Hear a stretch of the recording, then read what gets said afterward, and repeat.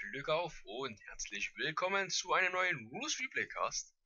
Wieder mal aus meiner Replay-Kiste ausgegraben. Um, ein Game gegen ja, Speedfire. Und Made in Germany, c'est. Ich spiele ja als äh, Engländer oder Britter, UK, wie auch immer, gegen den Italiener Speedfire. Also nur hier im Game als Italiener, als Nation gewählt, beziehungsweise Random. Und ja, zur Map gibt's viel zu sagen, was zum Teil eigentlich schon gesagt wurde. Ähm, ja, Britta auf der Map, was kann er machen? Ähm, viele gehen auf R, weil halt der ähm, Italiener gegen R ähm, nicht so viel machen kann. Problem ist halt, wenn er vom Boden angreifbar ist, weil der Italiener viele Harass-Möglichkeiten hat, etc. Durch Kasernenstelle Panzer. Und deswegen ist er ist, ähm, immer so ein kleiner was macht man nun gegen Italiener? Sowieso mal was Schweres, weil auf der Map ist Italiener eigentlich ähm, auf dem Vorteil oder eine sehr starke Nation. Und vor allem im Vergleich zu dem ähm, Briten, der halt Probleme hat mit der Recon. Äh, mit den Recons auf der Map, da es halt viele Wälder gibt, der alles abscouten muss oder sein Recon höchst, ähm, höchst mobil sein muss. Ähm, mit dem Einzelnen ist zwar gegeben, ist immer das Problem des Macros, wenn halt Etini Wälder steht, dass man ihn nie drüber fliegen lässt. Ähm, ja. Gehen wir mal gleich ins Game rein, gucken mal was abgeht. Ähm, wie starte ich? Erstmal gar nicht. Jetzt mit Blitz und ein paar Gebäuden. Äh, Depot. Was? Kaserne. Hab abgebrochen, okay. Äh, drei Depots. Und die Armor Base. Und zieht die AT Base nach. So wenn dem Briten schön billig ist, setzt noch ein Tonnens drauf. Ähm, ja, vielleicht ob sich das lohnt, kann man sich drüber streiten. Setzt die Basen relativ aggressiv, also in Reichweite der Arti halt. Und ähm, als Opener natürlich eigentlich gar keine so blöde Idee. Man kann halt gegen das, was Italiener standardmäßig bringt, sind ja meistens die ähm, Panzer oder die Infanterie. Kann man das gut countern, man hat auch Recon gleich ähm, ja, dabei. Man muss halt nur aufpassen, dass der Recon nicht in die Asche geht, weil er halt 30 Dollar kostet. Ähm, ja, Panzer der Briten sind natürlich allererste Sahne, nicht. Und haben halt als ja, Medium Tank hier sogar schon, ist ja nur Panzerung 1, eigentlich ein leichter Panzer. Damage ja ähm, kostet halt, oder? 11? 20, ja. Kostet halt 20 Dollar das Stück, ist zwar schön schnell, aber halt, ja, ähm, dem Briten fehlt halt ein schwerer Panzer. Cromwell füllt die Lücke nicht ganz, ist halt so ein besserer Panzer 4. Und der äh, Churchill aus der Prototypenbasis ist halt zu teuer für sein, seine Leistung.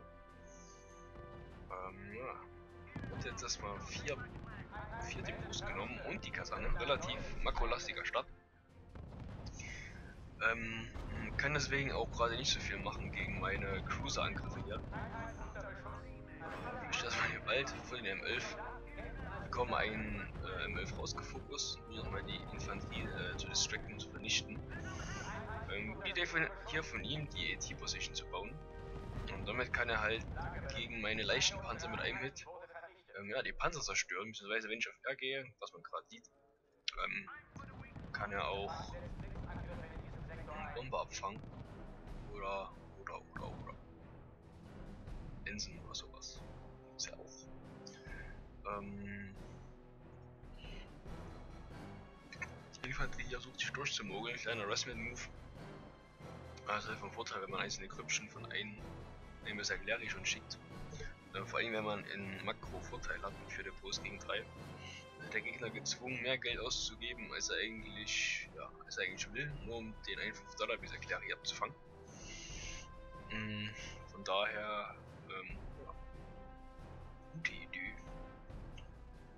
Schickt ihr noch zwei in der Ecke rum. Das heißt 15 Dollar. Ich muss mindestens 30 oder mit einem Outpost auch 15 ausgeben, kann da nur eine Flanke decken. Ja, ist halt egotechnisch für mich nicht so pralle. Ähm, kann dafür ein bisschen auch harassen. Hab halt meine Panzer hinter die feindlichen Linien gebracht. Der MK1 äh, ja, kurz vom Sterben her, knapp am Limit.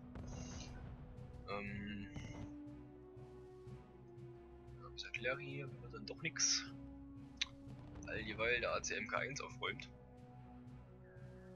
Ob ich auch einen Cruiser hätte bringen können. Probleme halt gewesen, ich drücke hätte flüchten können in die Wälder oder außenrum hätte gehen können. Und dann wäre es halt für mich eng geworden. So, wollte jetzt hier noch eine Kaserne der Schlinge. Ja, genau. Eine Kaserne. Ähm, ja, schöner Flankenmove. Die Seite kann man gut mit den Infanteristen ergehen, genauso wie über die eigentlich auch, über die besser, weil es halt diese Wälder gibt. Über diesen einen Wald hier. Oh, die Kodierung verwendet. Interessant. Äh, Cruz überlebt hier dank Fanatismus gegen die zwei Karo 11, die ja als, als Fax da liegen. Ähm, der ACMK 1 grätscht hier rein auf das Depot noch bis schon abzufangen an Supplies. Muss halt aufpassen, dass er nicht ähm, auf die AT-Position geht, äh, von der abgeschossen wird. Ja, Cruiser geht down. Blöd gelaufen, hat trotzdem noch ordentlich Damage gemacht, halt die Karos getötet, Supply Trucks, etc, etc. Ähm, ja, eine Cruiser muss jetzt hier die Infanterie aufhalten, schafft er auch, ah, sind schon Granatieri getaggt worden. Kasane jetzt zerstört, aber kriegt noch den Hit hier ab von der ähm, 90mm Position. Ist ja immer blöd, ist ja auch gut positioniert ähm, auf der Fläche hier. Ähm, ist halt blöd, wenn die Flugzeuge, hier angreifen, immer genau über den Wald zurückfliegen müssen. Man kann jetzt zwar versuchen irgendwie zu micro andersrum, aber die, keine Ahnung, sind halt so ungehorsam, die Leute hier, schlimm. Ähm, ja. Infanterie Push hier aufgehalten, hat halt gerade, ähm, der Gute hat gerade nichts an AT da, Infanterie ich was an den T da ist, ist halt diese, diese Position, die aber halt ein Problem für ihn. Ähm, ja, nur die Mitte covert von der Map. Das könnte eklig werden. Oder auch nicht. Oder auch doch, ja. Bomber her. Sagt man ja eigentlich, Micro Dish hier hinten raus. Und was macht er? Fliegt erstmal hier rum. Oh, welche Richtung? Fliegt man noch mal Kreise und dann wieder raus. Spaß die und gehen natürlich down hier. Ähm, mittlerweile ACMK 1 ist schön am Ragen. Wir haben halt durch die Linien geschlichen, weil gerade kein Aufklärer da ist. Hm, blöde Sache. Ich muss ja nochmal die AE gern rauszufokussen, damit meine Bomber heute durchrücken können. Und baue jetzt noch die AE-Basis gegen. Uh, Mama. Reinhard Jari kriegt den ACMK 1 hier weg. Nicht? der Zweck, weil er einmal kurz äh, gezögert hat und Befehl geändert hat. Ah, nee, doch nicht. Ähm, als MK jetzt immer noch am Ragen, Trucks ja noch zerstört, flüchtet sich jetzt in den Wald.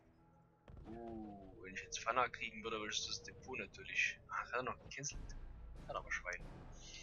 Ähm, ja, Unit Composition her oder von Unit Anzahl ist Speedfire klar vorne. Ähm, liegt auch daran, dass ich gerade in Tech investiert habe gesagt habe, halt, hat ja noch die Basis geedit. Und ja, teure Einheiten halt, wie die Cruiser und ACMK 1. Okay, noch ein paar Trucks mixen ein. Speedfire freut sich, dass mein ACMK 1 immer noch hinten ist. Und ja. Die beschäftigt sich erstmal mit den Infantlisten. Hier sollte wenigstens den einen noch fokussen. Würde ich mich schon freuen. Oder dann halt auf die A-Position gehen. So, jetzt geht dem MK1 doch an den Kragen, weil der Saharianer da ist. Ähm, hm. Träger um 11 ist dann Schicht im Schacht. Schade, schade, Schokolade. Ah ja. Geht jetzt down, wo noch mehr Schaden hätte anrichten können. Da hätte noch durchfahren können und hinten noch die Flak äh, angehen können, wie auch immer. Aber ging halt down. Suche jetzt hier ähm, nebenbei den Tag für den Churchill, glaube ich, hoch, äh, JC Müller Crumble hochzuziehen. Um die letzten AT-Reste, die einzige AT, die er hat, hier zu beseitigen. Und dann durchzurücken. Man bin halt zu dem Zeitpunkt eigentlich ähm, von dem Tag schon auf jeden Fall voraus. Habe ihn auch ein Depot abgeluchst, äh, diverse Trucks zerstört, also von Income her ähm, haben sich seine Federboost, glaube ich, gleich zu meinen noch nicht gerechnet. Ähm, wir gehen jetzt den Artillerie-Counter-Tag hier quasi mit den ähm, M75. Was man natürlich auch machen können, oder was ähm, viele sagen, Artillerie, gut, Schwinger Panzer, dagegen hat Artillerie keine Chance. Ähm, ist ja richtig, ist auch ein sturmgeschützt, gepanzerte Artillerie quasi. Nur halt wäre es an der Stelle ähm, ein bisschen eine Fehlinvestition gewesen, da halt die AT da war und ich sofort hätte ähm, ja, die Kessel hier äh, zumachen können. Ich es hasse, äh, was gleich passiert, Leute, wie ich es hassen werde. Ich spoiler mal noch nie. Ähm, ja. Die Position aber nicht immer gleich Tarnets, glaube ich, drauf gewirkt wird. Ja. Was passiert? Erstmal hat der Schlingel meine AE-Base erobert. Problem für mich. Ähm, oh, Crewbild da. Cruiser habe ich gewastet, wie es aussieht. Blöde Sache. Ähm, müsste eigentlich meine, meine Artillerie mal ein bisschen splitten jetzt, wenn die F-75 kommen und zurückziehen. Aber war gerade ein bisschen ragen, weil... Schlauer Bomber. Ah, Ziel, ist nicht unsere Base, gleich mal bomben. Natürlich so ein scheiß Wind, das Flugfeld mit drauf geht, ja? Spitze. Wie ich es liebe, ey. So ein richtiger Fick, ey. Die Bomber sind natürlich die hellsten Piloten, die es gibt.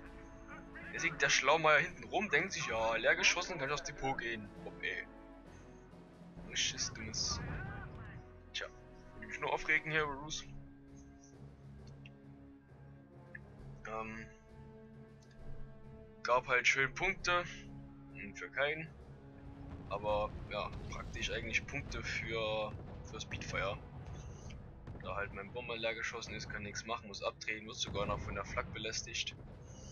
Mein Einzelne geht auch down auf jeden Fall vom Seite, weil er halt nicht landen kann, so reparieren. Ja. Und meiner Truck wird glaube ich auch noch ausgefokust. Ähm, Gründe dafür, die M570 alle zerstören. Ja, Tonnets drauf. Nope. So, Truck zerstört, weiß ich nicht, was es war. Mal. Ja, konnte zwar alle M75 zerstören, aber sich das so gelohnt hat. Ähm, Problem war halt, weil die Kack Kackbomber her. Boah. So sowas regt mich immer auf. Und das Micro von der Luftwaffe in Boost ist halt richtig ätzend. Weil die immer ihren eigenen, ihren eigenen Kopf haben und über nie quasi Befehle befolgen oder mal logisch denken können. Strategisch denken, wie auch immer. Ähm, ja, mittlerweile noch als Flugfeld von Speedfire auf dem Weg. Kann dagegen halt nichts machen, weil meine E-Luftabwehrbasis zerstört wurde, beziehungsweise das Flugfeld ja auch, ne? Spitze. Ähm, ist alles zum Guten für ihn, oder wenn es sich jetzt für ihn zum Guten. Warum es alles vorschickt. Ähm, denke mal, dass er jetzt auch. Äh, kriegt ja alles vor, keine Ahnung. Oh, ja, noch das zweite Flugfeld, wahrscheinlich schon Bomber zu tacken, hat schon den Falco gebaut. Egal, wenn die Bomber jetzt kommen, wird das Game eh vorbei sein, weil ich habe halt nichts dagegen. Ähm, hat ja noch das Depot erobert, schön. Wieder kein Income für mich. Ähm, ja. Für meinen scheiß Bomber habe ich gerade irgendwie das Game verloren. Ähm, das hätte natürlich vielleicht ein bisschen anders ausgehen können. Ah, Falco setzt sich jetzt über meine Base hier. Und ja, was soll ich machen? Hab drei Crumble, aber bringt glaube ich nichts. Nichts mehr. Wenn ich ein bisschen reingrätschen könnte. Ähm, hier hinten rumfahren, die EE-Position angreifen, aber baue noch schnell eine neue Luftabwehrbasis auf. Ähm, ist ja die, die, die Artillerie? muss man überlegen. Ja, was kann man jetzt überhaupt noch machen in der Situation? Schnell Flak bauen, hm. könnte auch gefokust werden wieder von den Seitas. Ging auch glücklicherweise noch auf die, äh, auf die Artillerie. Obwohl es ja noch einen, so das, äh, noch eine 90 mm Position, um mich noch weiter rauszutreiben aus der Mitte. Ja, deswegen auch hier mein ACMK 1 bisschen weglotsen. Wollte eigentlich die Flanke laufen, Flug, Flugfelder oder Einheiten am Boden erwischen. Lucky Shot. Bomben landen zwar arschweit weg von der Base, aber zerstört trotzdem noch alles. Ja, war ja nicht so gegen, äh, nicht so für mich das Spiel. Ähm, war trotzdem geil. Bis zu dem Punkt, wo der Bomber ja, mir versaut hat. Ähm, ja, man sieht, dass die Bomber dann mir alles gegeben haben. Ähm, ich habe mir selber viel zerstört, meine Panzer haben sich doch gelohnt am Anfang. Ähm, haben viel Nachschub denied, äh, Nachschub denied, Karos vernichtet und distracted.